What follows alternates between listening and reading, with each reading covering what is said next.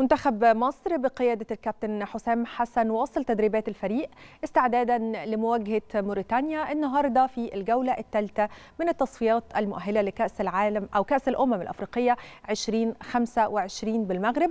وبدأ مران منتخب مصر بالإحماءات وحرص كابتن الكابتن حسام حسن على إيقاف التدريب أكثر من مرة لتوجيه اللاعبين. وكمان اشتمل المران على التسديد على المرمى وضربات الترجيح. فريق النادي الأهلي واصل تدريباته على ملعب مختار التتش بالجزيرة استعدادا لخوض منافسات بطولة كأس السوبر المصري واللي هتقام بالإمارات في الفترة من 20 ل 24 من أكتوبر الجاري.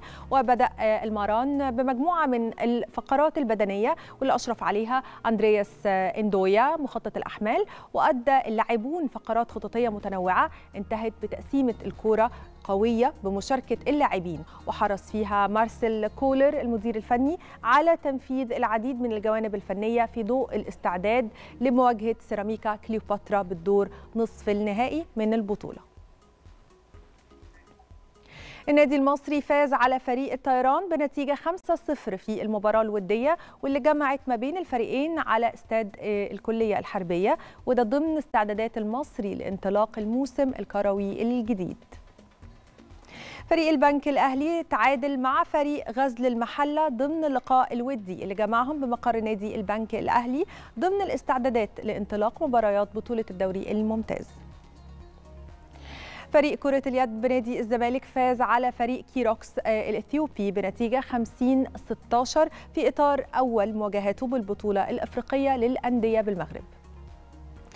منتخب الجزائر كمان فاز على منتخب توجو بنتيجة 5-1 في المباراة اللي جمعتهم على ملعب 19 مايو ضمن منافسات الجولة الثالثة للمجموعة الخامسة بتصفية أمم أفريقيا 2025 منتخب اليابان فاز على منتخب السعودية بنتيجة 2-0 في المباراة اللي جمعت المنتخبين على الملعب أو ملعب مدينة الملك عبد الله الرياضية الجوهرة المشعة ضمن منافسات الجولة الثالثة للمجموعة الثالثة من التصفيات الأسيوية المؤهلة لبطولة كأس العالم 2025 منتخب إيطاليا اتعادل مع منتخب بلجيكا بنتيجة 2-2 في المباراة اللي جمعتهم على ملعب أولمبيكو ضمن المنافسات الجولة الثالثة ببطولة دوري الأمم الأوروبية وبيحافظ منتخب إيطاليا على صدارة ترتيب المجموعة برصيد سبع نقاط بينما يتواجد منتخب بلجيكا في المركز الثالث بجدول ترتيب المجموعة برصيد أربع نقاط.